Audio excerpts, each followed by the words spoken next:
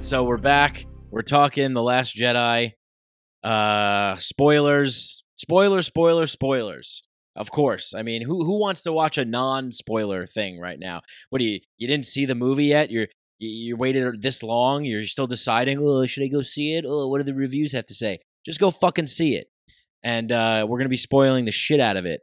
Detailed analysis, bonus section. I don't know why. I guess uh, it's just there's a lot to unpack in this movie. I'm such a huge Star Wars fan, so I had to do like three podcasts on this.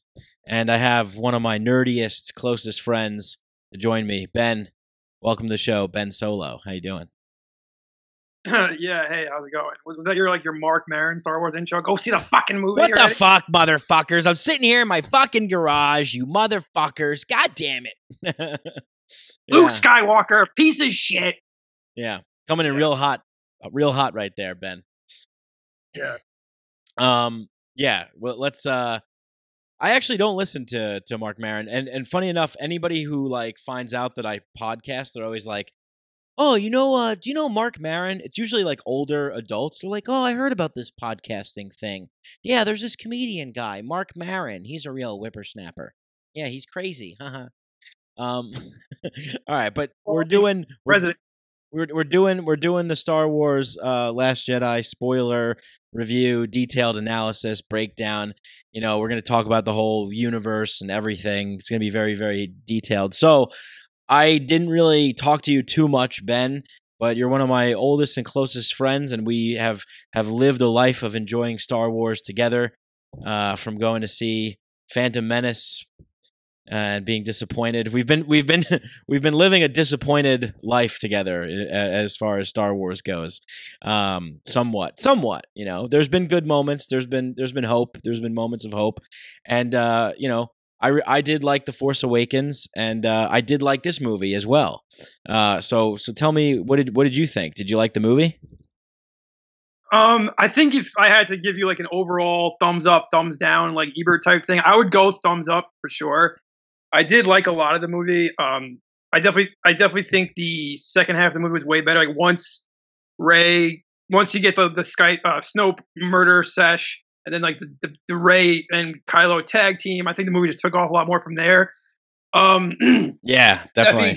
I thought the like the Finn and Rose B plot was a little was a little lame. Like I know you you told me you liked the the Casino Planet, but you know, trying to think about my thoughts about the movie, it's actually tough because there's so much crap that got kind of jammed in there, which I think is one of the biggest criticisms. Mhm. Like trying to I've seen it twice now, so trying to break it down and like really like analyze and hone in on certain things has been difficult in my head because it did, it did feel like a little bit of a mess. I- I'll, I'll agree with people who criticize it along those lines. Yeah, so let me tell you. So when I I went and I saw the movie on the premiere night that it came out, and it was exciting. People were pumped. People were psyched. You know, when when the opening crawl came on, Us there was was great. cheering. You know, and um and and so when the movie ended after my first viewing, I was like exhausted. Like I, I was like I just sat there in my seat. Like I didn't immediately go, "Oh yeah, I love this movie. This was great." You know, like The Force Awakens with J.J. Abrams directing, it left you wanting more. It was a perfectly court like it was a perfect tight like three act structure movie. Bing bang boom. You know, keep it safe. Keep it kind of like a New Hope a little bit in the similar structure, and it was it it was perfect way to reintroduce the franchise and the new characters, and it left you wanting more. I mean, it was probably the best ending of any Star Wars movie ever. You know, it was like that cliffhanger. I mean, that was that was amazing. And this movie just left me like feeling worn out and and like drained and overwhelmed and exhausted at the end of the first showing. Um, I really liked the ending though of the movie. I I mean, I can understand what you're saying. No, I like Uh, I like the ending too. Yeah. I mean, yeah, because I, I feel like a lot of stuff like happened. It, the pace was very high. A lot of you know little MacGuffin type goals. It's like we gotta like you know find this guy to do this box and like get that thing. And Benicio del Toro's here. I don't know why the fuck he's here and all this type And of why shit. and and, So and why does he have a lisp? Like what what is that? Like why? And so basically, they had to just make you know a, kind of offend someone somehow in Star Wars. It wouldn't be right. It wouldn't be Star Wars if you don't kind of offend someone in like a subtle way. Yeah. But um, yeah. But I mean, it was exhausting because you know it was kind of emotional. I was emo- when Luke Skywalker died. You know, I felt I felt it. You know, I was I was in that moment pretty sad, and but I liked the ending though. I, I really liked ending with that anonymous kid. I thought Rian Johnson did an interesting thing there where it seems like the central theme of the movie was like anyone can be a hero. You don't have to be a, like a Skywalker, you know, elite, you know, you know, liberal coastal elite. So there you go. Um, right, right. You don't have to be that person. The force can come from anywhere, and that's obviously the idea with behind Rey's parents being not not special. Right. Um, but I don't I don't blame him. You know, you you probably like Force Awakens felt super familiar too, though. I mean, it was comfortable. It was yeah. the same movie. We all know it's the same movie as A New Hope, and this one they try to do it differently. And I guess some people appreciate that, some people don't. But if you think about what, choice did Rian Johnson have? I mean, JJ left him with like, okay, here's this setup. It's pretty much the same thing. Now try to do something new with it. He kind of screwed him there, I think. Yeah, yeah, a, a, little bit, but because you know, like, J, but JJ did leave a lot of things hanging. I know that um, a lot of the a lot of people have complaints about this movie. It's probably one of the most divisive Star Wars movies ever. You know, I mean the the critic score versus the the um the audience score on Rotten Tomatoes is like you know, it's like drastically different, like 38 points different. Actually, the audience score for The Last Jedi is the lowest score out of all the Star Wars movies, lower than The Phantom Menace currently at it's at 55% from the audience. Now, I know I, I, I know it is. People are crazy and I know a lot of people are thinking like that I think there's like bots out there. There's like a vocal minority of people that are like, you know, trying to like really, you know, feel who feel passionately about this movie because the main the major complaints have been that uh, they didn't like the way that Luke was treated. Um, they didn't like the way Snoke was treated. They didn't like the fact Snoke died so quickly, and we never got to find out who Snoke was. And they didn't like how Rey's like parents were nobody. But see, I I liked all those things. Uh, not so much. I wasn't so crazy about the the Luke choice from up up at top, but um, but yeah, maybe we should start from the top because we're talking we're kind of talking about the end and we're talking about stuff. But uh, but just real quickly, I'll finish up that thought about uh, the Force Awakens. Force Awakens did kind of leave a lot of like mystery, like who is this girl? You know, what girl you know like uh, you know if if what you say about this girl is true bring her like there was a lot of like who is she? What is she? Han solo kind of looks at her weird you know like leia kind of looks at her weird and they have a talk and then they send they send her to go find luke like why do they send her you know like just because she's you know has the force like so there was a lot of hanging questions that uh, that for the past two years there was like a lot of people speculating online. And now you know maybe this is a, the detriment of the internet or whatever with like online speculators and theories because there's theory crafters all over youtube going you know who's snoke? Is he darth plagueis? Is he is you know who's rey's parents? Is she a kenobi? She has an english accent. Maybe she's a kenobi. Maybe she's a palpatine. Look at her fighting style. I mean i watched a lot of these videos and it was like pretty convincing. It was fun. It's I, I've you know one of the most fun parts about Star Wars is the theorizing, is getting caught up in this universe because it's one of the most fun universes to play in outside of our own reality. You know, Star Wars I, I really like. Uh, it's it's probably my favorite universe. You know, to to to be lost in, to get involved in. Um, so but you're huh? you're intergalactic truth. You're an intergalactic truther. Yeah, yeah, yeah. I mean, yeah. It, uh, the Death Star was an inside job yeah, there's like loose, loose credit. Another documentary out there. yeah, loose, loose, loose, uh, loose, loose Republic credits.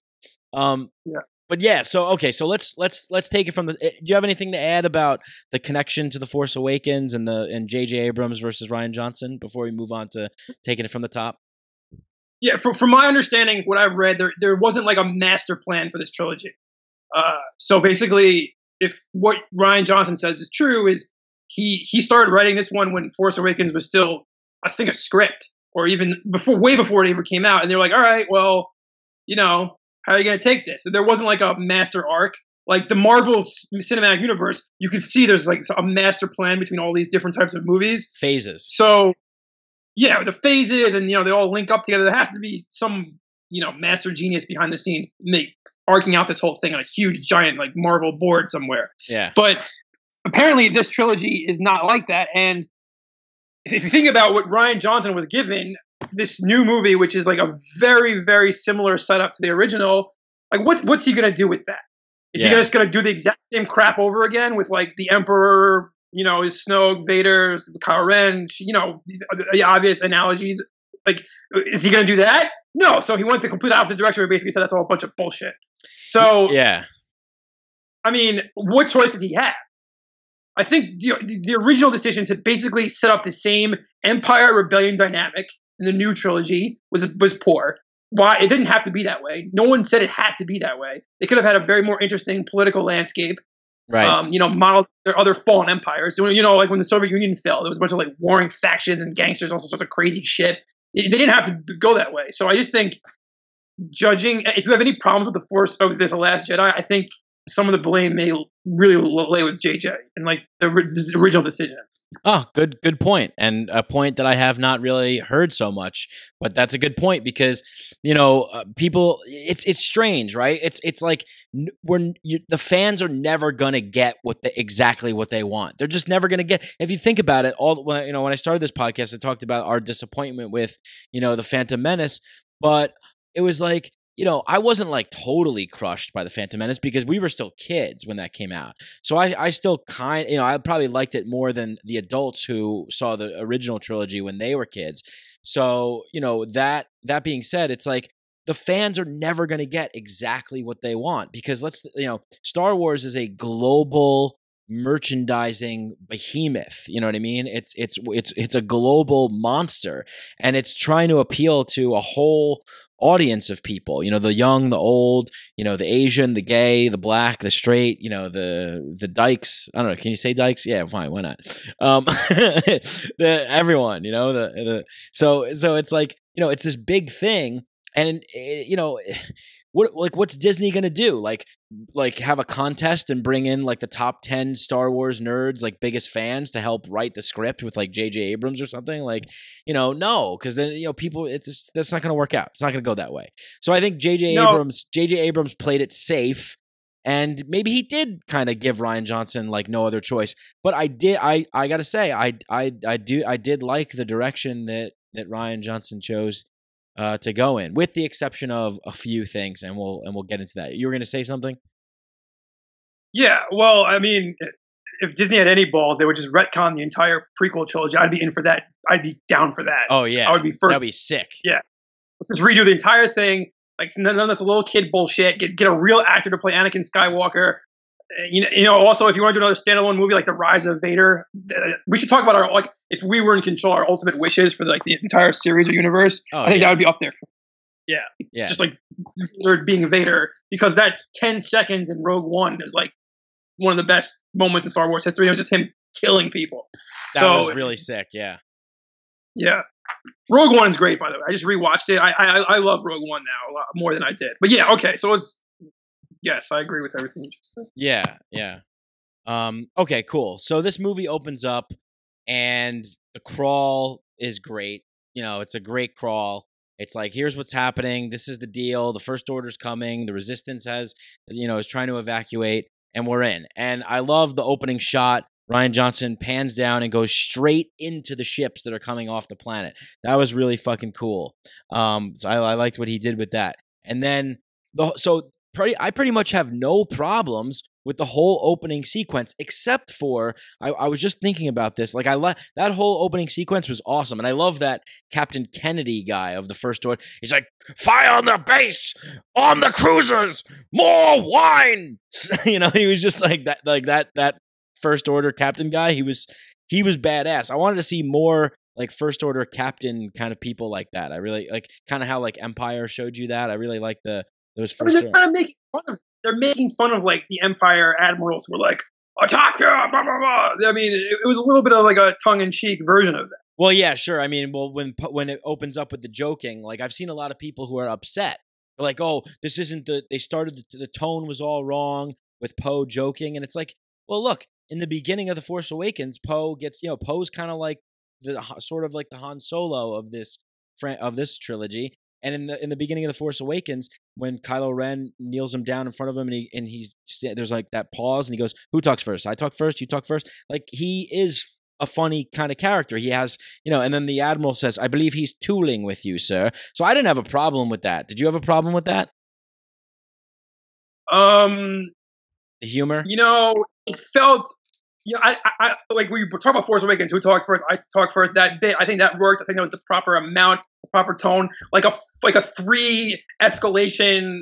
Like who is this thing? I thought actually was a little much. Yeah, it kind I- yeah, yeah. No, I, I, well, I'll It's tell you, I'll tell you the part that I thought was a little much because Poe is trying to stall, so he's purposely up there fucking with them. And I think humor. I, I talked about this already in a la- in another one, so I'm not going to go too much into it. But humor is a good way to subvert tyrannical authority. You know, because these guys have big egos, so when you start making fun of them, they don't get it. You know, it's like making fun of like Kramer. He's like, "Hey, what are you talking about?" Like, eh, you know, like he doesn't understand the joke Listeners know who because he's he's like robotic. He doesn't like get the joke. But um Wait, do your the Mike the Micadelic audience know who you're talking about? nah, they don't have to know. It's just a person. You know, everyone has a friend who like doesn't get jokes, so you, you can you can imagine. But um but but yeah, so so but yeah, I, I didn't like when Hux was like, "Can he hear me? He can." Like that was where I think they went too far, getting Hux in on the on the humor a little bit. I didn't really care for that. I didn't think that was a good choice. But anyway, I like the whole battle scene. The only problem I have is okay, we just talked about this. The Force Awakens ends with a climax, like, you know, the, just one of the best cliffhangers, one of the best moments ever. Let's start with that. And so this is what I think, and I'll see. I want to see if you agree with me on this. I think Rian Johnson made a conscious effort to not make this, you know, like Empire Strikes Back was a very personal movie. You know, it was a very like tight knit, like just the main character movie, not the whole war, you know, thing, resistance, rebellion. So th- this movie was made a made an effort to make the resistance, the rebellion, a focal point of the movie. And Rian, I, you know, Rian Johnson made that choice by deciding to open the movie with that whole bombing sequence and and Paige, Rose's sister, with the you know with the necklace and clinging on to it and the sacrifice for the greater good, rather than focus on the main fucking characters, Luke Skywalker and Rey. Like that's what we want to see. That's what I wanted to see. I wanted to see them open and crawl, pan down, and the Millennium Falcon just shoot uh you know out. And then it, we see it come into Ahch-To maybe from Luke's perspective. And and then you know we we pick up where we left off. That's kind of I think if you're starting this movie you start with your main character. Yes? No Well, I mean, an opening like random action set piece is kind of a Star Wars staple. Right. No, like or not like just like an opening set piece that doesn't always necessarily involve the rest of the movie. You know, like Return of the Jedi, you have the whole Jabba situation. Uh, you have Hoth and Empire. I know that's like Luke starts that movie. I guess that's a little, little bit more what you're saying. Mhm. Um, I have to admit, I you you remember more more details of this movie than I do, but um, I felt bored a lot in that opening set piece. To be honest, Hmm. I didn't really care. Maybe maybe maybe the reason is you- the exact reason you're saying right now is because it didn't have anything to do with the the part of the story I was emotionally connected to. I didn't really give a shit what was going on there. I wasn't impressed with you know the whole battle on a, on a visual level, I guess, and it just felt it kind of felt like the beginning of episode three where they had that whole attack on um Dooku and that right. whole and that whole thing, which was just kind of like it was the same music. It was the same music. Rian Johnson went in, he did the or whatever that, you know, it was the same kind of style of music. Yeah. Reven- no, the, Revenge of the Sith. With opening action set pieces, and these these are in all sorts of movies. Like James Bond movies always start with like a, a self-contained action set piece. You know nothing super bad's gonna happen because right. it's the beginning of the movie. Right. Right. There's not gonna be nothing with serious consequences. So I don't know. I, I was kind of bored in that in that whole piece, and also I, I'm starting to question the need of the the idea of Poe Dameron. To be honest with you, like why is he here? What's he really serving in the story? Where's he gonna end up? Inside of Rey. Yeah, I mean, we did kind of get that at the end there. They did give each other eyes, like they're gonna, you know. Well, yeah, it, it is weird, right? It's like I, like the first one, I think, because he was supposed to die. The original script of the Force Awakens, he was supposed to die in the crash, but then they were like, "Oh, we're gonna just use this character or whatever." But like, I don't know, it was weird. It's it is weird. That at the end of the Last Jedi, he goes, he goes up to Rey and he goes, "Hi, I'm Poe." Wait, wait, what do you? They didn't fucking meet. Like when she, she's, she's like fucking fought Kylo Ren, and then they came back and she went to go find Luke Skywalker. They never fucking met. Like, hey, I'm the hotshot pilot, and you're the fucking Jedi. Like, what's up? They didn't meet in the Force Awakens. Like, what, what the hell was that? That's that was weird. Did she go straight to that island? No, she came back to the Resistance base. Remember, she like said goodbye to Finn, like I oh see you again. Then she like hugged Princess Leia, and then they all waved her goodbye, and like they were like goodbye, good luck. So that was kind of that was kind of weird. It it seemed weird. He was like, "Hi, I'm Poe." It's like eh, like, and then people are like, "Oh, just because he introduced himself to Rey, that means that he's they're gonna like bang or whatever. They're gonna be a couple or a romance or something. I don't really know what like what's interesting about that. Like, what the fuck's interesting about that? Yeah, you're right. There's nothing really interesting about Poe. Like, he's just I, and that that that that brings me to another huge problem with I had with this movie was that uh storyline. The Admiral Holdo that comes in and takes over for Leia, who was, you know, doing a fucking her best Mary Poppins impression, you know, floating out in space. Oh, that was so dumb. Oh my Sorry, that was god. That was crazy. I hated that. I thought that was the worst. That might have been the worst part of the movie. Like, I thought she was going to die there, and that would have been fine because we all know that you know she's not coming back anyway. But that was so lame. I'm sorry. So yeah, what was your biggest problem with that? Just that it was cheesy. Well, first of all, I mean, I know Star Wars isn't science fiction, but they kind of just ignore the rules of space a little too much sometimes. Physics. yeah, yeah, they do. Yeah. Uh, there's clearly like a sense of gravity in these like space battles, and also the sound is, you know, there's no sound in space, but whatever. That's another a whole other issue with George Lucas. We well, it is. It, yeah, it's a long time ago. Maybe there was more gravity back then. Yeah, that's it. But um, yeah, that was just cheesy. I'm sorry, that was just that was just lame. It was. Yeah, it was kind of cringy right? Like I was kind of like, ugh, what are they doing? This is weird. This, there were moments in this movie that were so not Star Wars. You know, it was like, what is going on? This is so not Star Wars. Um, but th- th- I know a lot of fans had a problem with this because they're like, Leia, Leia doesn't use the Force. She this is the first time she uses the Force. Like this is bullshit. But I actually watched Return of the Jedi recently, and in Return of the Jedi, Luke, when he tells Leia, "I'm, you know, I'm your brother, you're my sister," he says you she's like you have this power i could never i don't understand. And he goes you know he says you'll learn to use it like i have. In time you'll gain with power and in strength and you'll learn to use it like me. He says that in return of the jedi. So it's interesting there's a lot of things that connect in the in these in the other movies. Like a lot of things that fans got upset with in this movie if you go back and you look at some of the things the characters have said in the other movies that it really does kind of connect and um, yeah, so that was that was weird. And okay, so Leia's in space, like you know, floating in space, and that was cheesy. She comes back to the ship. Okay, they get they they fucking get her on life support. Now, why did they choose to kill Admiral Ackbar and bring in you know purple haired Laura Dern? Like what? I, what was the purpose of her character? Like I just didn't understand. Why couldn't they just have Admiral Ackbar live and be like, "Hey, you guys remember Admiral Ackbar? Like he'll he's going to take over." You know, that's that's that's what we're going to do because we actually care he, about him. Was he supposed to be like the, the second in in line? Did they say that? Yeah, they said they they said the bridge was destroyed, all of our leadership is gone, Admiral Ackbar is dead, and Princess Leia is recovering. So the next in line is Admiral Holdo, and they're all like, "Who? Like, who is this person?" Like, she's like, like so out of place. She's like wearing like a purple gown. Like everybody else is dressed in like military fatigues. It just didn't make sense. It was so weird. And my biggest problem that I wanted to just scream like my head off about is why didn't she just tell them the fucking plan? It was like we could have avoided so much unnecessary bullshit the whole Canto Bight storyline, everything, if she just told everybody the plan, there wouldn't have, even when there was a mutiny, there was a fucking mutiny, and she still didn't tell them the plan. Why? Yeah, I, I don't know. I, I, have no answer for you for that one, but I just, I, that whole, that whole situation with Finn and Rose down on Canto Bight and all this stuff going on there on, in, on the Rebel ships, I, I was never really all that interested in, to be honest with you.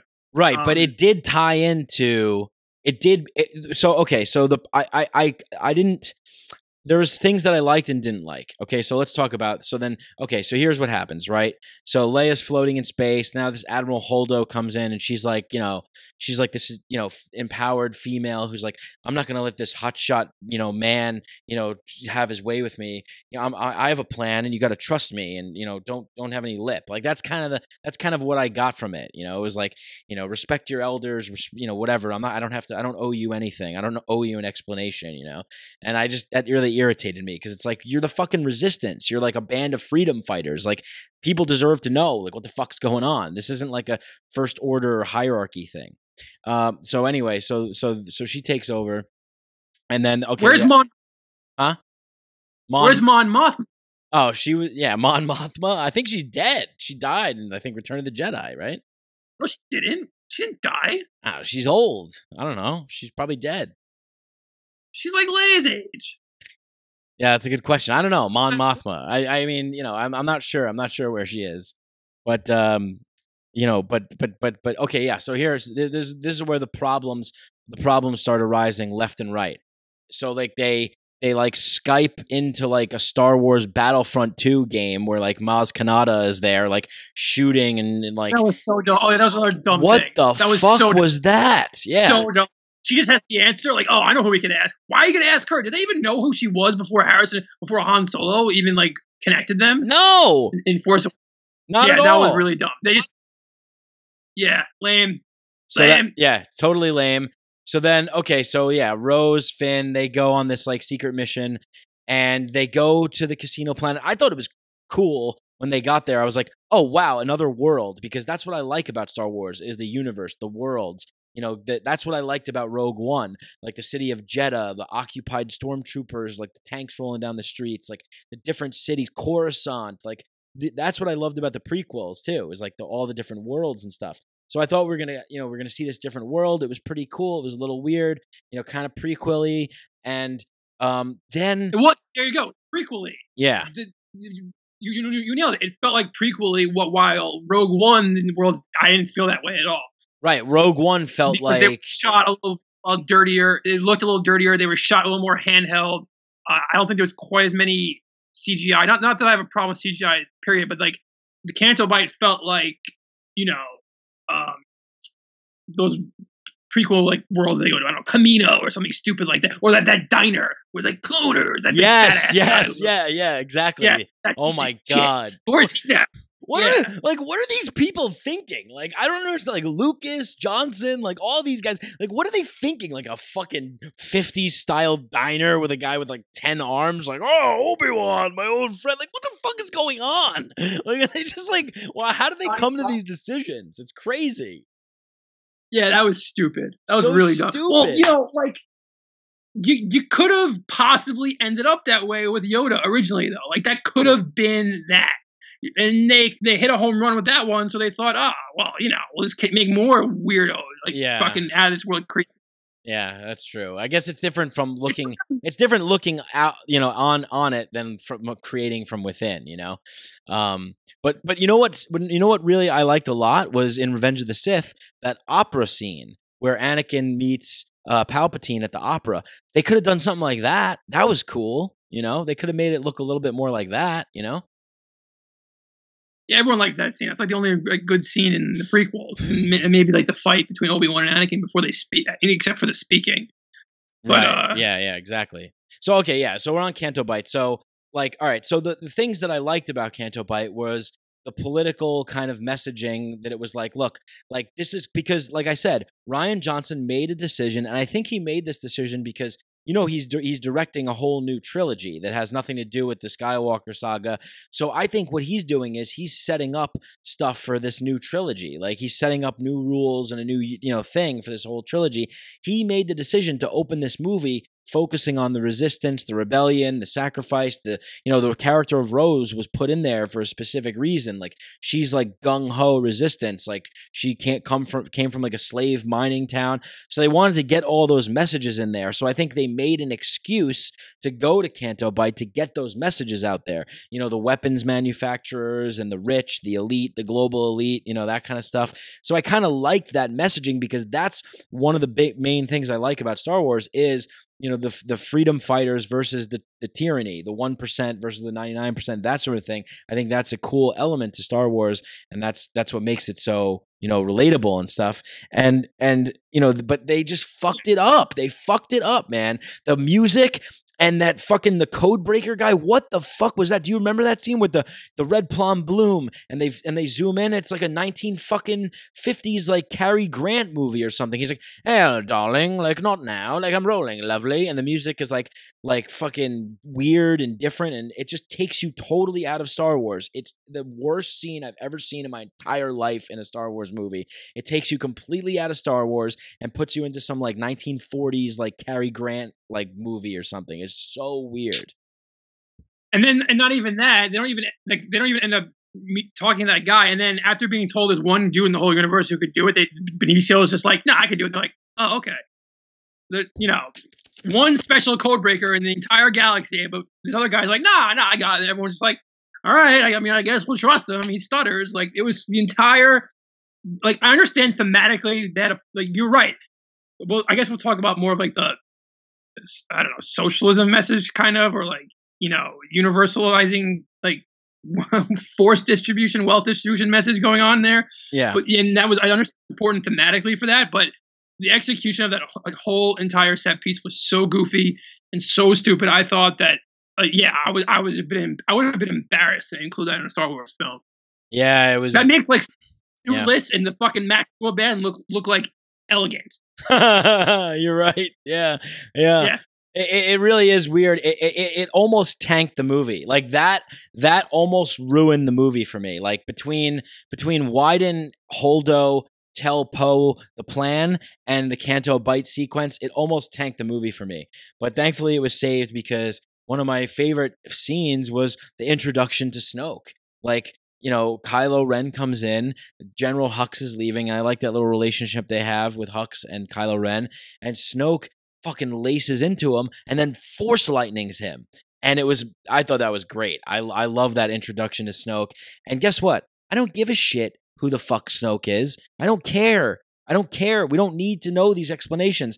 I agree with Rian Johnson. Rian Johnson said in the original trilogy, we didn't know who the Emperor was. We didn't know. He was just the Emperor. He's the big bad guy. You know, we didn't have to know every detail. And then the other thing is, how are we going to have all this exposition? Oh, hi and hello. I'm Darth Plagueis. Remember me? Like I, you know, Palpatine killed me and now I want revenge or whatever. You know, like we don't have time for that shit. So I did you like the introduction of Snoke? What did you think about Snoke? I mean, yeah, I mean, considering what it like like we talked about before, considering what JJ and the Force Awakens gave Rian Johnson to work with, yeah, I was happy with the way they executed it.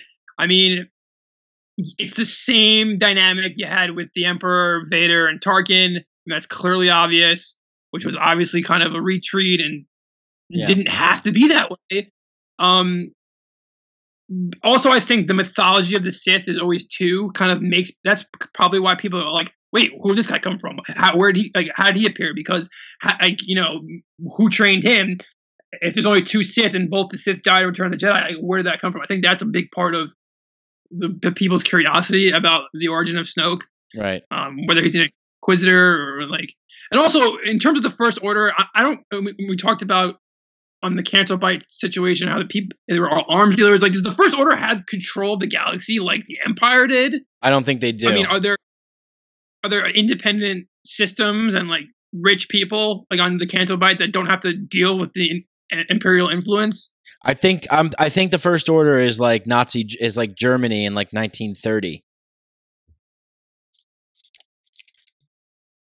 Then what was the empire? Empire was like Germany in like 1942. Uh, okay. well, high, yeah, peak. Yeah, peak empire. Yeah. Um I don't know. So I, I mean, I understand why people are curious about Snoke, but I do like that they killed him because I don't know. It would have been lame. It just would have been lame if that was, that was the, the, the main crux of the trilogy again, was to kill the evil emperor. I think it does make Kylo Ren more interesting now that he's basically in charge. That was that was one of my favorite scenes in any uh Star Wars movie. I'm, I'm trying to think. I mean, obviously Luke versus Vader and I don't know, maybe this might be number two or or number three. I mean, probably probably it might be number two for me as my fa- one of my favorite scenes in a Star Wars movie. I mean, it was just it was so incredible, uh, you know, because it was unexpected. I didn't really know what was going to happen. I didn't know what was going on. Um, so yeah, let's let's before we dive into that, we'll come back to that um, that cool ass fucking scene. But I guess let's talk about maybe like Rey on the island and Luke. You know, there's so much to unpack in this fucking movie, right? I mean, it's crazy. And I think that Rian Johnson really like you're right. Like he's like, fuck, JJ Abrams gave me all this shit you know and i'm just gonna fucking do do he, he just tried to do everything. He just crammed so much into this movie. Longest star wars movie ever. Yeah too much. It felt like that's why i said i felt exhausted when it ended. I was like holy shit i felt like wiped out. It was so much. There was like there were like three climaxes in the movie um and um think about like empire strikes back it's pretty simplistic right? You have like the beginning hoth where everyone's together and then the whole second half of the movie is just it's just two parallel plot lines. Uh, Darth Vader chasing after the Millennium Falcon and Luke on Dagobah. That's it. And they meet up again in Cloud City. It's pretty simple. Yeah. I mean, this one had like 19,000 things going on. Right. Most yeah. of them, well, not well, we're just really stupid. Most of them went didn't go anywhere. Most of them didn't make sense. Like didn't make sense.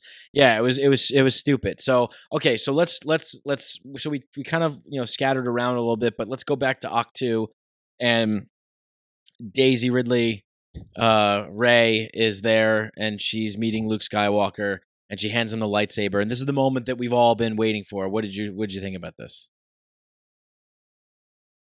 I mean, I think it's it's like a symbol for everything that Rian Johnson was doing with this movie, like being like everything that you hold sacred to the audience, everything that's a, you think is a big deal, isn't. Yeah, I don't know. It was kind of funny. I, I got, I don't know. Well, here's another thing. Here's another thing that from Force Awakens. How are they going to uh, rectify the fact that this this idea that the lightsaber was calling to her this whole time? Right, right, right. Exactly. Yeah, and the you had their voices like Obi Wan and the Force Vision you know, the Force Vision, the Knights of Ren. What happened to those guys? You know, is that is that the future? Is that things to come? Like what what what's going on? It was it was very it's very strange.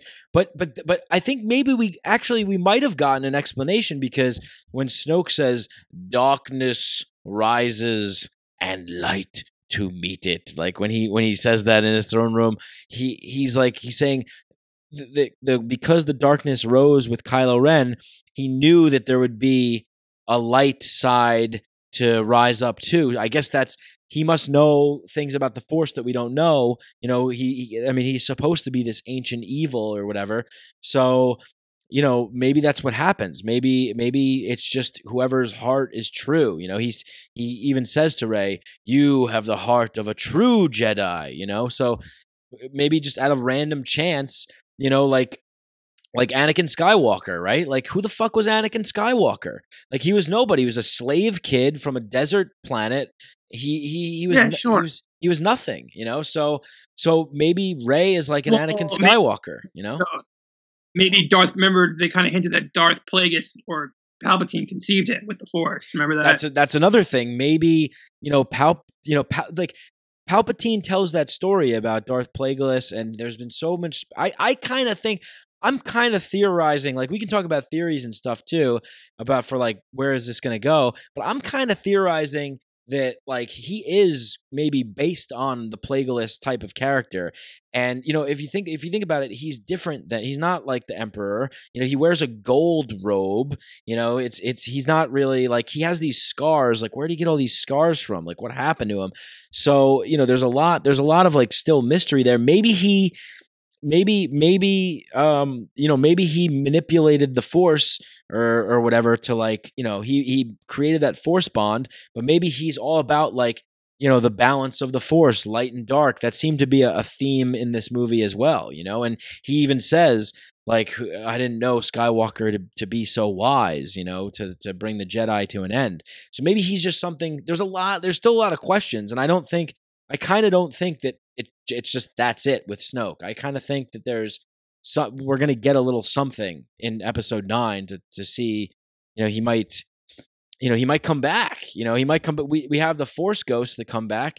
Maybe he's he's not a Sith, so maybe he can manipulate him, him himself into some situation. You know, the whole thing about this movie was the Star Wars rules are rewritten. So it is kind of like anything goes now. Like almost anything can happen because we've seen things happen with the Force in this movie that we haven't seen before. So there could be, you know, there could be some kind of coming back. And let's not forget that uh you know people have been maimed and and and and and brutalized in these movies before specifically Anakin Skywalker was left for dead mangled and became Darth Vader came back from the dead so to speak um you know Darth Plagueis uh, the the he was he he knew how to manipulate life and and, and come back from the dead dead and all that stuff. And um you know and so so and you know snoke is all scarred up. So maybe he's done this a couple times. And if you look he looks different in the force awakens than he does in in uh in last jedi. Maybe he's like you know there's there there's a lot of speculating that could be done and, and we can go all over the place with this. But anyway i, I digress um you know so there's you do like yeah yeah yeah so so where were we okay so we can we can get back into that snoke stuff because i want to circle back to that that but let's talk about the Ahch-To. So Luke throws the lightsaber over his shoulder, right? And so the whole point of this, right? The whole point of him throwing the lightsaber over his shoulder, running away from Rey, telling her to get out of here, you know, being a crazy old man, you know, which is fine by me because Yoda was a crazy old hermit, Obi-Wan was a crazy old hermit. Perfectly fine. I have no problem with him being a crazy old hermit that drinks titty milk from brontosauruses. You know, like I don't, I don't, I don't care about yeah. that. You know. Um, but I mean, yeah. I don't mind like a weirdo, like angry. Um, I guess we, we know like he had the tragedy with, you know, he, he basically ruined Ben Solo, so he's like a recluse. I mean, I don't. Did people really have a problem with that? He's like a weirdo. Yeah, because like because like everyone, you know. But here's the thing: this is not Luke Skywalker. This like isn't. Luke always acted like a little bitch. You're right, and yeah, he was always like whiny little turd. He yeah. was never cool. Well, he was kind of yeah. cool in Return of the Jedi when he, you know, when he when he said when he threw his lightsaber down and said, "I am a Jedi, like my father. I will not turn." And you know he sacrifices himself, so to speak. So that was that's I think that's what everybody had a problem with. They said Luke Skywalker, he's supposed to be this, you know, master Jedi. He he confronted his father. He confronted the emperor. He threw down his lightsaber and said, "I won't fight." Like he he he he did all this stuff, and he and he saw the good in his father. And Rey even brings this up in the movie. She says, "You saw the good in Darth Vader, and and you tried to you know turn him to the light." So why? That begs the question: Why the fuck would would that guy go and murder his nephew. You know what I mean? Like that. That just that was a problem for me. That I actually was, like that. I I like that twist. I thought that was interesting. To be honest with you, I thought eh. that gave it some complexity. I mean, I could see why he would do that. I mean, he's a little fucking scarred. Like his his father turns to the dark side. You know that's possible. He flirted with the dark side. He right. sees this kid. I mean, he, I don't think he was actually going to do it, but he was he overreacted for sure in a bad moment, and we and we know he can't overreact. Like he overreacts when Darth Vader threatens Leia and Jedi. That's a good. I mean, yeah, that's a good point. Yeah, I actually thought that was interesting, like an interesting twist because it also gives you a little sympathy for you know Kylo Ren because he felt betrayed, right? And it gives a little more complexity to Luke. Like he's not just this all good guy. I mean, like he fucked up and it's right. his fault. That's and that's why he's you know in exile. Yeah, no, I think yeah, that's that's that's true. I mean that that, that was that was a big point of the movie too. It was like failure, you know, making mistakes, learning from our mistakes, learning from failure. And another big point of the movie in this is they told that story three times, and there was three flashback scenes, and it was three different versions because it was from three different perspectives. And this is where it connects, and this is where you know, some of the fans are upset with this and say, oh, it doesn't really fit the character. But you're right. It does. You're right. It does fit the character because if you think about it, all the Skywalkers are fucked except for Luke. And Luke is the one that actually made it out, you know, uh, pretty much unscathed. Like he's, he's, you know, that Skywalker blood is like, you know, could go dark at any time. And he actually did the most good with the Skywalker blood. So if you think about it from that perspective, but that's an, that, but then that brings up the perspective and if you, I, I just recently watched Return of the Jedi, after Luke goes to meet with Yoda, and Yoda dies, he sees Obi Wan, and Obi Wan, he goes, Why didn't you tell me? And he goes, Well, I did tell you from a certain point of view. And then Obi Wan says, uh, and I wrote it down. Because, oh, we know. We all know at this point that George Lucas had no idea about the father, about Darth Vader being his father in the original, and that's why he kind of had to like get his way get his way around that. But it's still, That's but it's still in the story though. It's still, it's he, they still twisted it to fit the story, and that and that Yeah. twi- that twisting to fit the story is is is part of Star Wars now. So that becomes a theme for this movie. Rian Johnson used that as a theme for this movie. Truth from a certain point of view. Obi Wan says, "You realize, Luke, many of the truths we cling to depend greatly on our own point of view." So, from Kylo Ren's point of view, he thought his master had betrayed him, tried to kill him in sleep. From Luke's point of view, I, I had a moment. I, I felt shame. You know, from Rey's point of view, she thinks she can, you know, save it. So there's a lot of different, you know, the points of view here that I think is a is another good theme of the movie is like wh- what is true, what is real. Well, it depends. There's a lot of different points of view on that. You know, yeah, it's like a it's a kind of a real Rashomon type little thing there. Rashomon. I don't know what that is. Yeah, I mean, cool. Yeah, I mean, I was I like it. I mean, obviously, Kylo Ren felt like Luke was gonna murder his ass. Um, I'd I'd be a little upset too. I don't know. What, what are you what are you gonna do? yeah. If like, Like, you, if Phil just walked in, character. He feels different. yeah, it's happened. What do you mean? Sal probably tried to kill you multiple times. Uh, Michael, I sense the darkness rising in you. um, Yeah.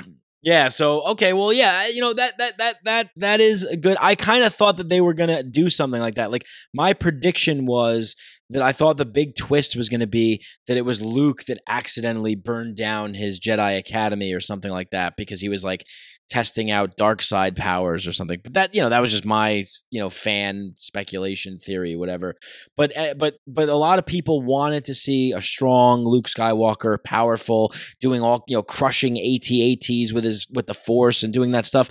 But you know what? Rian Johnson took it in a different direction, and he actually made it really good because a lot of the messages were like, "Look, this these guys aren't legends; they're human beings too. They're they're not they're not like these gods. They're they're flawed characters. They make mistakes." And I thought that was a good you know a good choice, a good uh, a good p- part of the movie. What did you think about the any? Well, do you have anything else to add about the the Luke's the way they handled Luke and his decision and the reason why Ben turned? No, I, I like I said, I like that. I thought it's probably the best possible reason that that, that explained it. Yeah. Um, actually, but didn't they say somewhere that Snoke already started to like get to him? Like, what does that mean? Like, was he there? Did he like visit? Was he like was he like at, creeping at a mall and was like, "Hey, Ben, come here, I got candy." Like, I don't understand what the hell the fuck does that mean? yeah, Snoke is like intergalactic pedophile. Um, yeah, just hey, over here, kid, check out these puppies. Dark side puppies. Wow. Like I don't understand. How was he already communicating with him? Like through his mind? So apparent. So okay. So the, the the little bit that we know about Snoke is that he's really old. He's like from far away, or so, or, or something like that. I think like you know he's he's because but he's he's he's seen the Empire rise and fall. I think this was in like the Star Wars visual visual dictionary. It says that he's been around and he's seen the rise and fall of the Jedi. He's like very ancient and and, and stuff like that. So it's like okay, so where was he? Okay, so then maybe he was out in the outer rim or something or whatever he mentions it when the when we first meet Snoke in the flesh in this one. He says to him, "You're no Vader. You know, you're just a child in a mask."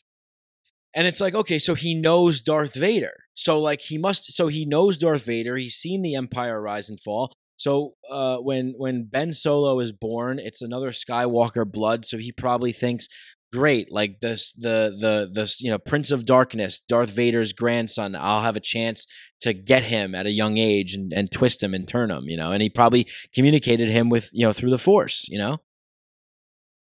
I've heard so I heard some people online say that he was one of those creep creeps that was like on Palpatine's like little little committee there in Jedi. Nah, I don't, I don't think so. I, I don't, I don't think he's one of those creeps. I think he's I I think that he's something that's okay. So there's a theory that's going on on the internet right now. This is a hot one. This is a hot take. So in the movie, in on Ahch-To, there's a symbol that's in the ground, and you don't really see it in the movie, but this is what these nerds do these days: is they tear apart every little thing. And in the Star In the Wars, pool. yeah, in the pool. In the Star Wars Visual Dictionary, it says the image in the pool in Ahch-To is an image of the the the first uh the prime Jedi. It says it says the prime Jedi, the first of his order, sitting in a meditation pose and he's and he's balancing the light and the dark. It's like a yin yang, black and white, and the figure kind of looks like Snoke a little bit. It has like an alien kind of head. And it says the prime Jedi, the first of his order. So there's a theory floating around that Snoke is the first Jedi. And that's why he's like so old and he can cheat death. And, you know, they're, st- they're taking a little bit from this prime Jedi concept and they're taking a little bit from this Plagueis concept and they're making something totally new with Snoke. And so, you know, there's a, there's a lot of theories that are going around right now, but who the fuck knows? Nobody knows. All we know is that he's this big bad evil guy who got to Ben Solo and Luke sensed the darkness rising and for a moment he tried to murder his fucking nephew. And then Ben Solo feels like abandoned because his parents left him, I guess, you know, so he you know, and and that's where the connection with Rey happens. So he's connecting with Rey. What did you think about this force Skype? Like what did you how did you feel about that? Sl- sliding to the Force DMs. Yeah, sliding into Um, force DMs. Yeah. Um, it was in- it was interesting. I, I mean, I like Adam Driver is just like a really good actor. So anytime he's doing anything, I, I'm just into it. Like Yeah. he's by far the best actor. He's the best actor on Girls. He's the best actor in this. Best actor Um, in the Star so- Wars franchise. Well, Alec Guinness is up there, right? Yeah, I guess. Fine. Alec Guinness, whatever. You know, Bridge over River Kwai or like you Hello know, there. Girls. Yeah. well, but but Adam Driver, okay, Adam Driver is a very good actor, and you know Daisy Ridley's a pretty good actor too, actress. You know, so Yeah, she's she's got. I like that dynamic. I mean, they kind of like. It was like a little bit of a will they, won't they type like friendship thing. I don't know. I I, I liked it. I thought it was cool. yeah, I liked it too. Um, I, I liked when Luke like barged in on them, like touching. It was like uh, it was like a parent like coming in, like you know, while, while catching you like having sex or something. You know, it's like no, like, they were sex. They were sexting. yeah, yeah, force sexting. Yeah, he, she, even he was. Had his shirt off. Even you know he was sending nudes. It was weird, but Yeah. um, Yeah, I mean, obviously there's some like connection there. They kind of like have some attraction to each other. Um, well, but then remember in Force Awakens at, at one point he's like, "I I know you. Where do I know you from?" Like there was clearly supposed to be some more like meaning to that whole thing. I don't know. I Yeah, guess we'll find out. In, You're right about nine. that because I listened to the audiobook on Audible, uh, the Force Awakens audiobook, and in the audiobook, in the Forest duel, uh, you know, when when she commands the lightsaber to her, he he looks, he turns at her, and and Kylo Ren says, "It is you." So what the fuck is that? So that's okay. So that's a that goes back to this other message of truth from a certain point of view, right? Because Kylo Ren says, Rey, I know who your parents are. And I believe that when he's saying that to her in the elevator, when they're going up to Snoke's throne room, he's saying that because he knows that she will uh you know fight by his side because she wants to keep him alive you know 'cause so she so she can find out who her parents are because she cares so much so that's why i think he uses her to that to that way and who knows maybe maybe he is lying to her about you know her parents being you know drunks and and leaving her in the Jakku desert. We don't know, and I think some of the people that worked on the Last Jedi said Kylo Ren thinks that he's telling her the truth from his perspective or something like that. So, and then the other thing is the Force visions are not totally clear, right? Like we don't know. Like Snoke obviously got it wrong, and he's one of the most powerful people to use the Force. He he thought he was like you know he he he misgot he got that whole situation wrong about uh, Kylo Ren striking down his true enemy. So it's the Force visions aren't totally clear, you know. So um, so yeah, I thought that was so we're gonna see like a flashback. We're gonna see like a flashback of like people like people like bums on Jakku drinking and like we're gonna like reveal it's really like Obi Wan or something in disguise. He's gonna wink at the camera and be like, "Ah, gotcha." Like, what do you mean? I don't know. I mean, I, I really, I really don't know. I mean, that's, you know, I wonder, I wonder how J.J. Abrams feels now. You know, it's like, you know, J.J. Abrams handed Rian Johnson off his thing, and Rian Johnson was like, "Okay, J.J., I'll, I, I see your, your conservative, say, Force Awakens, and I raise you this fucking crazy thing." And now J.J. Abrams is probably like, "What the fuck am I gonna do with this? Like, what's J.J. Abrams gonna do?" I think J.J. Abrams is kind of like a bitch. Like he's probably gonna count. He's probably gonna like bitch out to the fans and like give us what we want. And I kind of would. I would be happy with that. You know? Would Would you? What do you think? Well, you know, he originally wasn't supposed to direct episode nine. Uh, Colin Trevorrow or whatever, the Jurassic World guy. Yeah, but they had, fired. They had, they had disagreements. Yeah. I want now. I'm wondering what those were because you know, episode like, Last Jedi ends pretty open ended. Like that could go to a lot of different directions. I wonder what those disagreements were about. It could be it could be anything really. Yeah, it could be uh they, Disney was like, "Let's go safer," and he was like, "Nah, let's go let's go even crazier," or or the opposite. I don't know. Well, you got to remember, like, okay, so Disney's a behemoth. They just acquired fucking Fox. Like they're they're they're they're they're fucking monstrous. And Kathleen Kennedy definitely has an agenda, you know, with the strong female leads and you know these these sorts of things and the certain kinds of messages that she wants to put in the film.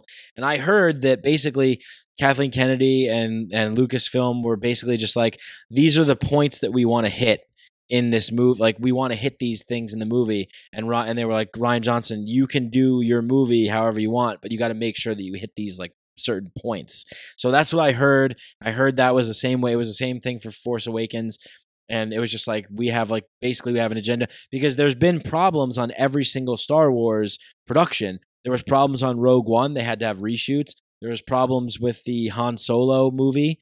Um, they, I think they fired the director, right? They fired the writers or directors, yeah. and they got Ron Howard instead. So they're getting people who will kind of like toe the Disney line. You know, it's Disney. You know, at the end of the day, Disney it has a certain kind of uh, way that they want to do things, you know. So we'll see. We'll see what happens. I uh, I have faith. I, am not going to have high hopes. Like I had, I had so, like my my hopes were so high for Last Jedi because I just I loved Looper and Brick and Rian Johnson seemed like a like a cool kind of nerdy hip guy who like understood Star Wars and was with it and got sci-fi and got had him tell a cool story in a unique way.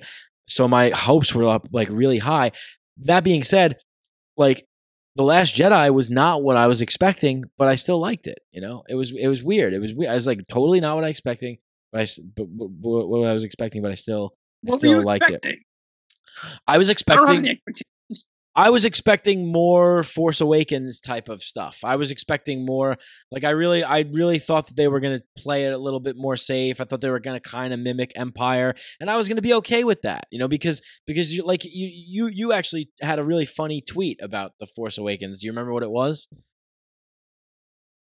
No. You you said something like uh, you know, seeing seeing this. I think you. I think this was you. You were like, Force Awakens was kind of like having sex with an with an ex girlfriend, like as comfort. Oh know, yeah, like, that was me. Yeah, yeah. Yeah, and it was like it's like yeah. you know, it's it's it's it's good. It, it's nice. It's familiar. You know, and at the end of the day, people like that kind of stuff. You know, people people people do like you know nice and familiar and stuff because the Last Jedi really, and I think that's why I'm talking about this movie so much is because it just was so unexpected, and I'm such a huge Star Wars fan.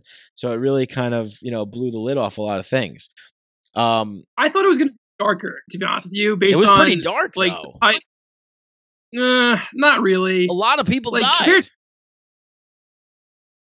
Who? People. It's not as dark as Empire. Empire's darker. Well, Empire is darker because you know your, your, fucking father chops your hand off. Your best friend betrays yeah. you. I mean, nothing is. Look, you said this I think before too. Nothing is ever going to come close to being what Empire was. It's just not going to happen. It's not going to happen. Well, the consensus best Star Wars is pretty damn dark. So I don't know why they're afraid to go that dark. It's not like little kids aren't going to buy the toys if there's some kind of you know heavy plot lines. I don't think I don't it's. Know. I don't, they're just afraid. This was. I think this movie was pretty dark, and this movie had some adult, very adult themes, and it was very dark. And you know, I just think that I don't think they're afraid to go dark. I think that they just can't replicate what Empire was. Like they can't replicate the suspense and the dynamics and the dark. You know, they just can't. You just can't. It's just it. That is what it is, and it, it'll never. You'll never be able to make anything like that ever again. You know, but you know, if, if they wanted to be, if they wanted to have some guts, they could have done something really crazy. Like maybe Rey does join Kylo Ren at the end of the movie. She's like getting down with the dark side. Like that would have been an interesting move. Yeah, that, that would be an interesting cliffhanger. I think yeah, I think that could have happened if there was and look, there that might happen, right? Like because one of the th- one of the things that I think is is this movie is trying like I don't know I don't know where they're going to go with episode nine I don't know if they're going to go Kylo Ren is the big bad and he just needs to die or you know it, you know if they're going to go traditional kind of like victory for the heroes route or if they're going to go sympathy for Kylo Ren and he needs to be redeemed because Rey's in love with him or something like that like I don't I don't know you know because I've heard I've heard some theories about people talking about how you know this the the the original Star Wars trilogy is the hero's journey gone right. Luke Skywalker. The the the prequel trilogy is the hero's journey gone wrong. Uh, for the and it's both been for men. And now this is a female, and the female's hero's journey, the mythological monomyth hero, the the quest of the hero. The male quest is to slay the dragon, get the gold, and you know win the princess. That's the the grandest story of all time. And with a female, what is it? What's their myth? What's their hero arc? Uh, their hero arc is the re- redeeming the man, making like Beauty and the Beast. That's the ultimate uh, female mythology. And throughout the Force Awakens and this movie, Kylo Ren is referred to as a beast, a monster, a creature in a mask. You know these sorts of things. So maybe they will go that way, maybe not. Maybe they'll just say that he's like this, you know, privileged white man who is like a Columbine mass shooter kind of guy who's just crazy and he needs to die. You know, who knows? I, I I'm pretty sure he's going to die. I'm fairly confident that one way or the other, even if he gets redeemed ahead of time, Kylo Ren is not going to survive episode nine. Yeah, you're probably right. Um, you can't. Yeah. No, you're right. yeah. Like, live out his, like, live out his days somewhere, just being like, you know, he's a murderer. I mean, no one's going to be like, even if he survives, everyone's going to be like, oh, yeah, he's cool. He, he, we forgive him. Well, maybe if he like, uh, you know, if he goes and like saves all the porgs or something instead of grilling them like Chewie, maybe people will like him. yeah, I guess so. Well, I tell you, I, I, apparently Carrie Fisher would have had a huge, big part in episode nine. Maybe there would have been like some mother son situation going on there. Right. Yeah, but now we're not. Now we're not going to get that unless they like CGI her ass. Yeah, I mean the another big theme of this movie was killing the past. Like that was Kylo Ren's message. It was funny because Kylo Ren's message was, you know, like Rey, kill the past, let it go, you know, let let the past die. And that was also funny enough. That was also Luke's message too, and Yoda. They were like, mm, burn the books, like let the past die. Like we don't need, you know, to move on from from what what's going on. So it was funny that actually both sides of the light and the dark were in agreement with burn down the past, let it let it go, and start new. You know, that was that was that was pretty interesting. Did you like Yoda? I thought he was a little goofy. Like, have, why did they make his temper more like Empire Strikes Back or like Return of the Jedi Yoda, where he's like pretty chill? They they made yeah they made I I liked him. I, I gotta say I, I did like him because um, obviously Yoda's like super powerful. He made a lightning bolt strike the tree, which and he's a force ghost, and he also hit Luke on the head with a wooden stick. So like, I don't know, he's just like a really powerful force ghost now, you know. So there, it was. It's really interesting. He's the most powerful of all the Jedi, Yoda. So I, he's like having, he's like one of those like, like you know when he, the, the wise chief, you know, who kind of like jokes around, and and the Zen master, the Zen master who jokes and fucks with the student. You know, I kind of I like that. I like that about Yoda. Yeah, I mean, I like that too. I just thought he was a little like his voice sounded a little weird, a little different. I mean, Frank Oz is getting older, I guess. That's and, what. Yeah, that's what it is. Yeah, fuck Frank Oz for getting older. Piece of shit. He ruined my yeah. childhood. He ruined my fucking childhood. That that's a, like it's amazing how many people are like going off. They they Disney fucking took a huge shit on Star Wars. They ruined my childhood. They fucking made Luke a weak beta male. Like there's all these people that are like losing their mind about what they did. And I you know, I just think that the expectations are just too too much. You can't please everybody and all these fans are just like, you know, it's it, like come on. You, you can't you what do you what do you expect? Ugh. What do they mm. I don't, I don't understand what they wanted. They wanted. I mean, the movie. Had, they wanted comfort. The movie, had, they, the movie had what?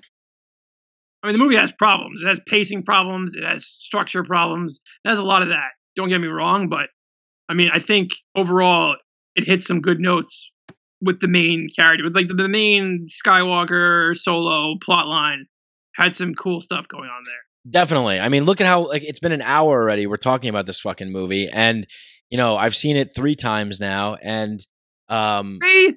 yeah, I saw it three times in theaters. Yeah. Jesus. Well, you know, I went I went during the day, and if you go if you go to the uh, 11 a.m. show, it's like seven dollars, and it's just you know why not? Why the fuck not? You know, I really it was really I'm obsessed with Star Wars, man. Like this is the only Star Wars is the only thing that I really nerd out about. I don't really nerd out too much about anything else. Star Wars is it for me. Well, I, I psychedelics apparently. well, yeah, but but you know what? That's why I mean psychedelics to me, you know, play uh kind of are a reason why I feel linked to Star Wars. I feel like there is some kind of parallels between a psychedelic kind of meditative spiritual position and also using, you know, the force. It's like a very kind of similar sort of thing. And that's I think that's why I, I like it so much. It's it's cool. I mean, obviously gonna? obviously it's not the same thing but it's it's cool like when luke projects himself at the end like that's something called astral projection that's that's like remote viewing what they what they in stranger things like the, the cia actually conducted experiments with people in with taking lsd in float tanks to that, that's what that movie the men who stare at goats was about it was a, based on true events of trying to remote view so he can steal That movie was secrets so bad. I know it was horrible, but it was based on a true story, and it was and it was um it's all about remote viewing. So I really liked I liked that element a lot. That that was by the way. All right, so let's talk about. I, I mean, I think we, we we. Do you have anything else to say about the middle of the movie, or should we just jump jump straight to the end? We can jump straight to the end, but I mean, your connection with psychedelics and Star Wars is is, is quite the thing. Are you gonna go on like an ayahuasca retreat to Dagobah or something? Well, I yeah, I I am actually. I'm going to Peru soon, so yeah. Okay. Um, well, yeah, because it it it's it it really is like when you enter into the re- the psychedelic realm, you're entering into a realm where uh the rules of normal reality aren't there. So it it it, it and and the feeling that you have is very at least this is my interpretation of it. You know, this is my perspective. So from my from my perspective, it fits, and I and I like it. You know, I see Yoda as kind of like a Zen master, kind of shaman guy. You know, there's a lot of similarities. Mhm. Obviously, Star Wars is based off of that, the old wise, you know, samurai type, you know, Zen Buddhist, you know, the pacifist Buddhist people sort of thing. And um, I mean, so- it's very religious. I mean, it's, the Force is God. I mean, it's a religion. They, they call it's the Jedi religion. It's a very spiritual thing. Well, yeah, and and but that's why. But in this movie, that I liked how they actually good point to bring that up before we jump right to the end. Uh, Luke says the Force doesn't the Jedi don't own it, and I love that because it's like, look, like there's a lot of fucked up shit that happens in the name of religion, right? Like the the Muslims think that they're right, the Jewish people think they're right, the Christian people think they're right, the you know they there's all kinds of people think they're right, their texts are right, and these, these sorts of things you know it's it's there's this dogma that comes along with religion but it's like you don't have to buy into a religion to be a part of something special and i kind of liked that message that it, it that it, the force can be for anyone. That was really cool and you know they they were tearing down because he made a good point you know the the the the Jedi let Darth Sidious rule come to rule right under his nose and they trained Darth Vader you know and that was I thought that was cool how he brought up Darth Sidious. You know, he said Darth Sidious uh, instead of Emperor Palpatine. You, That like was- that, it felt weird to me, to be honest with you. it was a connection, though. I like that connection because the prequels are Star Wars. You know, as much as we shit on the prequels, the prequels spawned a lot of really cool shit. The Clone Wars, you know, uh, the co- like comic books, the fucking um, uh, Rebels TV series and stuff. Like the the the the prequels opened up the whole a whole new world of Star Wars. I think a lot of people forget about that. You know, as much as much as like the Attack of the Clones sucked or or the Phantom Menace sucked or whatever, it really opened up the Star Wars universe a lot and showed us new things that we've never seen before. So we can't forget about that as being a part of Star Wars. Yeah, right, fine, but they could have just been so much better. They could have done that and just been so much better. I mean, know. everyone knows that. I of course. you're, you're, you're a prequel apologist. You're a apolog- You're a Lucas apologist. yeah, poor Lucas. He's like this passion that he like, you know, fucking eh, eh, what what a bunch of bullshit where he's like, well, the pre- prequels are the way they are because they're for children. Oh, they're for children. Then how can we have you fucking open the movie with trade negotiation between Asian aliens and a fucking blockade and all this crazy shit? What are you talking about, Lucas? Get your head out of your ass, you fucking turkey I mean, neck. he's past his prime, he lost it. He did lose it. Yeah, he did. He did. Um, but you know what? I did watch Phantom Menace recently, and you know, the the the young Anakin thing. Eh, maybe it wasn't that bad. Maybe it wasn't that bad. You know, maybe it wasn't that bad because you know, in this movie, Rian Johnson is connecting that with the young slave kids who are, you know, he wear he's wearing the Resistance ring. He uses the Force. He's a nobody. There's hope. That's what Star Wars is about. It's about hope. It's about you know. F- freedom and and inspiration so Yeah, I, I, like yeah that a lot. I like the ending a lot. I mean, I like that you don't again like you don't have to be you know some royalty like a Skywalker to you know be part of a rebellion. I mean, that was really cool. I thought that was a good ending. oh shit did we talk about the we didn't talk about the throne let's talk about the throne room and snoke's death real quick all right go We talked about that. we did Yeah. that was just so dope that fucking when when when he's the lightsaber cuts through him and then it flies in the air and Rey catches it and it goes into slow mo and the music slows down and then they the praetorian guards and they face off again that was that was sick that was really sick that was one of the coolest scenes ever all right cool all right let's I saw us talk about that, how like he had that image in his head for that scene from like the beginning, and he like nailed. He says like we nailed that, and I'm really happy about that. But yeah, that scene was awesome. yeah it was sick I was like, that's it. Um, yeah, I mean, you know, when this movie, the whole speculation about this movie, this movie was so hyped, you know, because because really this because the Force Awakens was so safe and similar that this was really like the real new. This is the real new trilogy movie, you know. So this is why everybody was getting so hyped about it, and and you would hear interviews and Daisy Ridley and you know Rian Johnson and you know these guys and Daisy Ridley would say, you know, Uh, he wrote a script that's very different and unexpected but right. And you know the whole time everyone's like what does that mean? What does that mean? Well this is what it means. And so yeah so they they you know fucking captain phasma comes back for like two seconds. Who gives a shit? She, she sucks. I don't see what the big deal about her is. Too many fucking character like you know they, could have done away with rose and phasma and holdo. I mean put Poe and Finn together, have them go on a mission, you know, that whatever. It was just stupid. I didn't like what the, the- all this stuff. So then, okay, so we go to Crait, and they're on the mineral planet, which is pretty much Hoth 2.0. You know, kind of, kind of, kind of lame. Like, you know, do something a little bit different. You know, why, why couldn't it be like a jungle or like, you know, like a savannah or something? You know, why, wh- why is it to be like a Hoth situation? You know. Um, well, I mean, they even had the guy. They even had that one guy like purposely go, "Oh, it's salt, not snow, guys. Don't worry, it's not snow. Definitely not Yeah. salt here. Completely different thing. That's right. that's Original. funny. Why did they do that? It's so stupid. Yeah. Ah, salt. Yeah. Oh, pepper. I you know what- you know what I have a pet peeve. I hate when um in Star Wars when they make comments that are clearly based in like Earth stuff. Like um Admiral Holdo says Godspeed. Like what God? What are you talking about? What you don't have you know you don't, you don't have God there. Yeah. Or in um Empire when the Millennium Falcon's not working and and uh, Leia's like, "You want me to get, get out and push? Like, wh- what do you mean? It's, a- it's like a 73 Pinto. You have to get push it for the transmission. Like, what are you talking about? You push star, these push star fucking ships. What are you what are you referencing there? That's just a little pet peeve I have. Yeah, yeah, yeah. I think they had something like that. Well, I think Poe did that when he's like, yeah, holding for Hux, like something like that. Um, yeah, like like there's like operators and there's like like phone lines.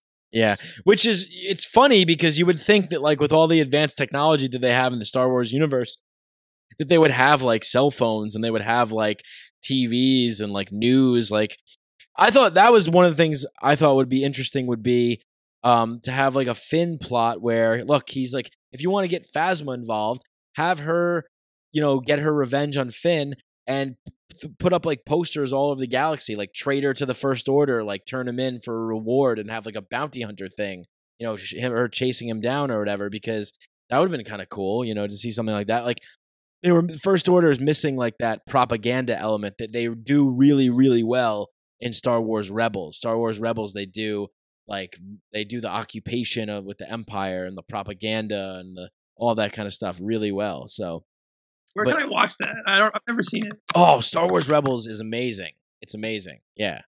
You got to you got to watch it. It's so good. Um I think you could watch it on Hulu. I want to say maybe I don't know. I'm not sure, it's it's out there. You can you can get it. Star Wars Rebels is very good. It's you know it's like I'm not a cartoon person really, but you know I do. I mean I do like Rick and Morty, The Simpsons, South Park. I guess I am a cartoon person. Fuck me, whatever. But but Rebels is No. Rebels is great. Rebels is really great. Um, yeah, I'll check it out. I've heard.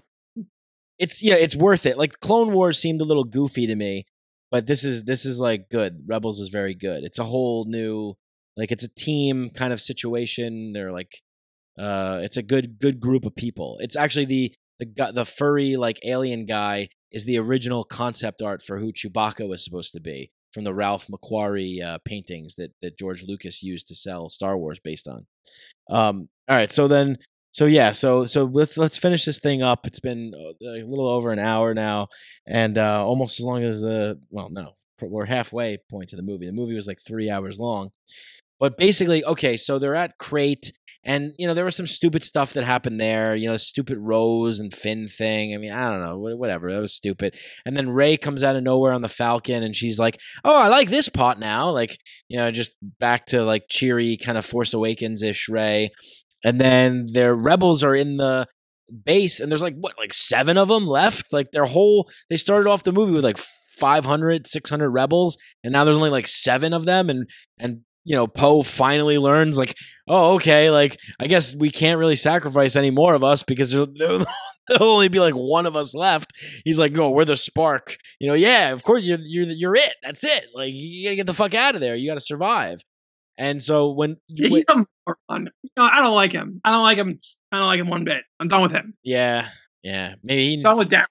he needs to die, but he won't. He'll probably, you know, he'll probably stick around. I don't know. I, well, he's gonna supposedly he's gonna he's taking over for Princess Leia. That was the whole point. Like she's grooming him for leadership. You know, that was the whole thing. You know, so I guess he'll play a a, a part like that in nine. Like he'll be the the new commander, right? Sure, I guess. Whatever. He's he's a moron. Yeah, I don't like him. Oscar Isaac. Um, I mean, I like Oscar Isaac as an actor, but I don't like him in, in Star Wars that much. He, he's he's weird. He's weird. He's always like, "Hey, Finn. Hey, buddy. All right. Like, oh, let's let's go. Let's do it." Yeah, Um, he's like, oh, come on, BB-8. Yeah, like go back to Llewyn Davis. yeah. They should do a crossover inside Dameron. Just like singing folk songs about BB-8. Inside Poe Machina. Yeah. Oh yeah, he was good in that too. I forgot He was about great. He was great in that. Um, that. Yeah, he's good with like darker, sad, yeah, sad characters. He's I don't buy him as like, all right, guys, we're gonna do this. It's gonna be great. Yeah, yeah, not really into it. Um, okay, yeah. So the end. So they're fucked. You know, it's all over, and then all of a sudden, some this music cues out of nowhere. A hooded figure appears, and we're like, "What? How did the fuck did Luke Skywalker get here?" And And you got a haircut. and he got it. Yeah, I shouldn't have stopped for that haircut. Yeah, he, he he stopped for a quick, you know, shape up somewhere. Yeah, that was from the monorail episode with the Simpsons with the scientist. Oh no! yeah, I know. We're too late. I shouldn't have stopped for that haircut. Um, yeah. So weird like creatures on the island gave him a haircut that look like they're straight out of like the Dark Crystal or Labyrinth. yeah, yeah, yeah, yeah, yeah. The the the the caretakers. So so yeah, I so I um I I remember you know when this happened, Luke comes out. I remember thinking something's going on here. I'm not quite sh- exactly sure what's going on, but I I I was like something's weird about what's happening here. Uh, and I you know it, I wasn't I wasn't like totally blown away, but I was like, oh wow, that was interesting how they did that because I knew something was up. His beard was darker, his hair was shorter, something was weird. And um, yeah, so I, re- I really liked that end. I thought that whole ending was perfect. I thought everything he said was amazing. There was a callback when Kylo Ren is he's he's facing off with Kylo Ren and he goes, "I I'll destroy her. The rebellion will be over, and then I will kill you, the Last Jedi." And Luke had said to Rey earlier in the movie when she when he asked her about the Force, "What do you know about the Force?" And then she tells him it's like moving rocks or whatever, and he's like, "Everything you said about that sentence is wrong." And then he says that to Kylo Ren.